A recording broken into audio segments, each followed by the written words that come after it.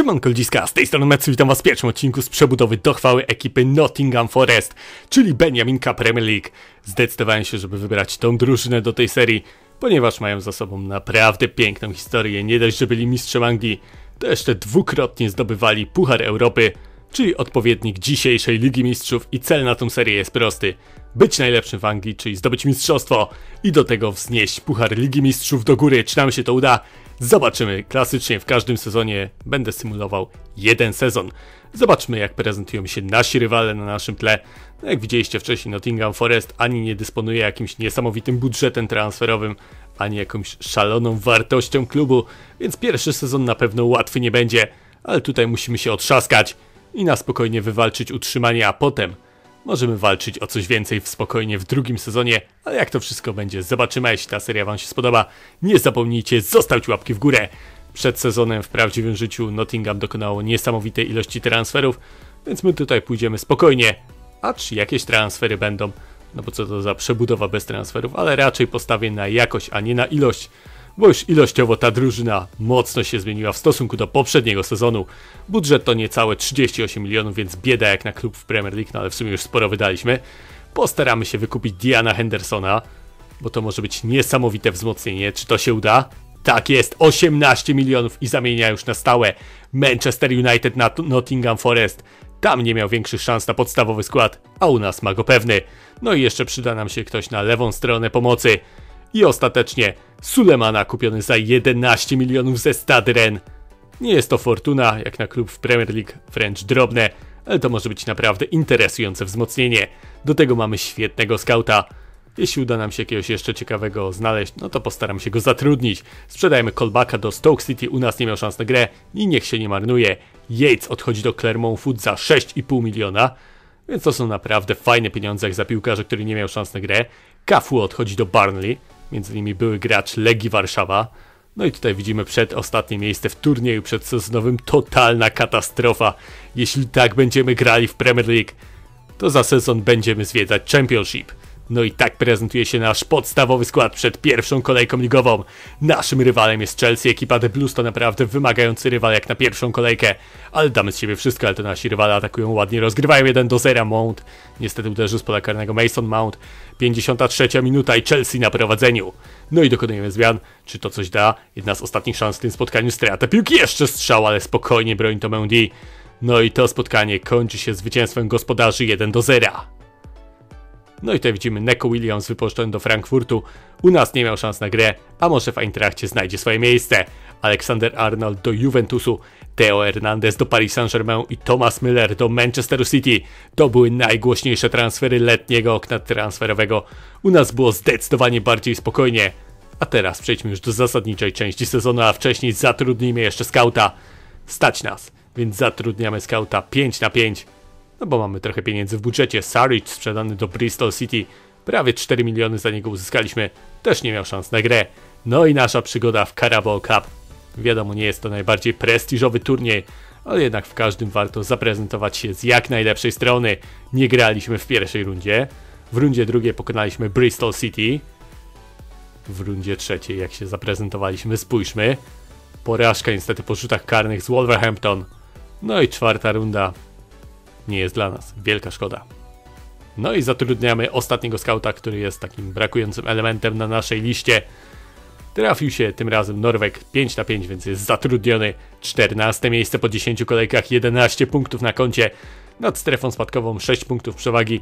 Jest to całkiem przyzwoity wynik jak na start sezonu, ale oczywiście chcemy się piąć cały czas w górę. Arsenal, jak widzimy, liderem, dość duża przewaga nawet nad Tottenhamem, który jest na drugim miejscu w tabeli, a tak prezentuje się nasz podstawowy skład. Haaland został piłkarzem sezonu za co? No, w sumie nie wiadomo, ale tutaj w FIFA różne dziwne nagrody są przyznawane i trafił nam się fajny junior Alastair Macmillan, przeniesiony do drużyny seniorów, wykazuje wielki potencjał. No i cieszmy się, że mamy takiego zawodnika. Ósme miejsce po 20 kolejkach, ależ my zagraliśmy mecze naprawdę 30 punktów na koncie. Arsenal cały czas liderem, ale Nottingham spisuje się lepiej niż bym się tego spodziewał. Outsiderem Southampton. Stracili bednarkę, to i wyników jak widać nie ma. No a nasz podstawowy skład wygląda całkiem nieźle. No i tutaj dwóch piłkarzy odwołanych z wypuszczenia, znaczy jeden, przepraszam, Bade przez Ren, No i przenosimy kolejnego piłkarza do drużyny seniorów Jordan Molloy. Irlandczyk, dość ciekawy zawodnik. Dobra inwestycja na przyszłość, oby to się sprawdziło. No i widzimy nasza przygoda w The Emirates FA Cup. Klasycznie nie braliśmy udziału w pierwszej rundzie jako klub z Premier League. W drugiej rundzie również mieliśmy wolne, przejdźmy zatem do rundy trzeciej. Tutaj remis z Aston Villą, więc była powtórka tego spotkania. No i niestety porażka z ekipą Matiego Kesha. No i runda czwarta nie jest dla nas, więc odpadamy jeszcze szybciej niż w Carabao Cup. Jordan Smith odchodzi na zasadzie wolnego transferu do Al Ittihad. Nie miał szans na grę, oby mu się tam wiodło. Biancome wypuszczony do Elche. Myślę, że jak się tam ogra, to może stanowić dla nas wartość dodaną. No i zobaczmy też najgłośniejsze transfery. Davis do United, Fratezi do Leicester i Zaniolo do Chelsea. Duże transfery włoskich piłkarzy. Ósme miejsce również po 30 kolejkach. 47 punktów na koncie, tym razem liderem Manchester United. Arsenal spadł na zaledwie czwarte miejsce. Cóż za dramat kanonierów. A jeśli chodzi o najgorszą drużynę w Premier League, to nadal są to święci 13 punktów na koncie. Bawią się ewidentnie w Paderborn. A tak wygląda nasz podstawowy skład. No i tutaj widzimy Cameron Harris. Tym razem Amerykanin, defensywny pomocnik przeniesiony do drużyny seniorów. Wykazuje wielki potencjał, oby się go gdzieś udało wypożyczyć. No i ostatniej kolejce wygrywamy z Fulham 1 do 0, co oznacza, że ekipa Nottingham zajmuje ósme miejsce w ligowej stawce, ależ piękny sezon jak na Benjaminka. Mistrzem Manchester United, drugi Tottenham, trzeci Liverpool, czwarty Manchester City, Arsenal zaledwie na piątym miejscu, a w strefie spadkowej znalazły się takie drużyny jak Brentford, Bournemouth i Southampton. No jak widzimy, Avoni został królem strzelców, cóż za sezon Nigeryjczyka niesamowite liczby wykręcił. Były gracz Unionu, Mota najlepszym asystentem, a Alison miał najwięcej czystych kąt. No i tak na sam koniec prezentuje się nasz podstawowy skład. Taiwo Avoni, ależ on miał sezon za sobą. Niby overall tylko 80, a nastrzelał tyle bramek, że tego najlepsi piłkarze na świecie w Premier League by się nie powstydzili. Niesamowity sezon za Nigeryjczykiem, opłacało się go kupić z Unionu przed sezonem, to był złoty transfer. A jeśli chodzi o największą ilość występów dla naszej drużyny, to uszeregujmy poszczególnych piłkarzy. Henderson, Orier, Niakate, Lodi, Freuler, Mongala, Gibbs White, Johnson i Sulemana 42 występy. Awoni najlepszy występ, drugi Johnson, a trzeci Sulemana. Jeszcze asysty. Tutaj Gibbs White i Johnson wraz z Sulemaną po 7 asyst, egzekwo pierwsze miejsce. No i jeszcze Wam zaprezentuję statystyki poszczególnych piłkarzy, ile mieli meczów, bramek, etc. w poszczególnych rozgrywkach. Jeśli ktoś Was szczególnie interesuje, to w danym momencie możecie sobie na spokojnie zatrzymać filmik i zobaczyć statystyki interesującego Was piłkarza. Największa strata po tym sezonie to jest to, że nie stać nas na wykupienie Renana Lodiego, który świetnie się rozwinął w trakcie trwania tego sezonu, więc w przyszłym sezonie zdecydowanie musimy pomyśleć o kupnie nowego lewego obrońcy. No bo niestety Lodi wraca do Atletico, a my zostajemy z dziurą na tej pozycji. Widzicie, Lodi wart 46 milionów. W sumie nawet na początku sezonu ciężko byłoby go wykupić, a teraz to jest praktycznie niemożliwe. No i przejdźmy zatem do rozgrywek niższych lig angielskich. League 2 Crawley Town wygrywa drugie Gillingham, a jeśli chodzi o najgorszą drużynę, wchodzimy w czeluście angielskiej piłki i widzimy, że na samym dnie znajduje się Stockport. Przejdźmy zatem do League One. Tam najlepsze Sheffield Wednesday, drugie miejsce Ipswich Town. I teraz zejdziemy trochę niżej w ligowej stawce i przyjrzymy się, kto znajduje się na ostatnim miejscu w tych rozgrywkach. A jest to drużyna Morecombe. No i teraz czas na Championship. Do Premier League awansuje Sheffield United i Barnley, Watford, Middlesbrough, Norwich i Preston North End zagrają w barażach o awans.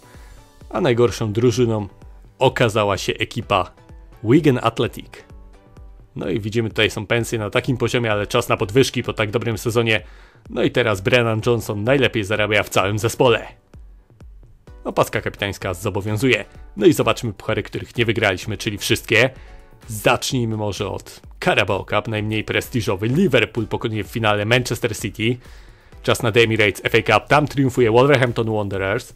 Świetny wynik, pokonali Chelsea w finale. Przechodzimy do Superpucharu Europy, tam Real Madryt pokonuje 2 do 1 Eintracht. Ligę konferencji zdobywa drużyna Slawi Praga. Wow, co tutaj się stało? Niezły wynik Czechów. Liga Europy dla Manchester United pokonali w finale Bayern, a Liga Mistrzów dla Real Madryt, czyli klasyka gatunku, pokonali w finale Napoli. No i tutaj widzimy ocenę menadżera 72 na sam koniec. Chciałoby się zdecydowanie więcej, ale cieszmy się z tego co mamy, bo mogło być jeszcze gorzej. Sezon na duży plus, ale zarząd do końca mnie nie docenił. No i tutaj Lodi niestety wraca do, do Atletico Madryt. Kto wie, musimy pomyśleć chyba o nowym lewym obrońcy. A w dniu dzisiejszym bardzo ważny, znaczy jest to dzisiaj bardzo ważny dzień dla polskiej piłki. Polska versus Argentyna o godzinie 20. Naprawdę sporo się będzie działo. Wreszcie, po tylu latach upokorzeń na Mistrzostwach Świata, mamy szansę wyjść z tej magicznej fazy grupowej. Czy tego dokonamy? To dowiemy się już za kilka godzin. Ja jestem dobrej myśli. Mam nadzieję, że uda nam się, nie wiem, zremisować z Argentyną, no i wtedy mamy pewne wyjście z grupy. W przypadku porażki też mamy szansę na awans, ale tego nawet nie zakładajmy. Zwycięstwo to byłaby niesamowita historia, którą wspominalibyśmy latami ale ciężko jest mi uwierzyć, żebyśmy aż tak dobrze zagrali, więc jak ja liczę, to liczę na remis i mam nadzieję, że taki wynik z Albi Celestes uda się osiągnąć. Na pewno będę kibicował z całych sił. Dobrze, że dzisiaj komentuję ten materiał.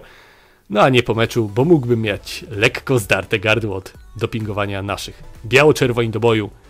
Oby udało się ugrać punkty i wyjść z fazy grupowej Mistrzostw Świata, a potem, potem można napisać piękną historię. A za ten materiał bardzo Wam dziękuję.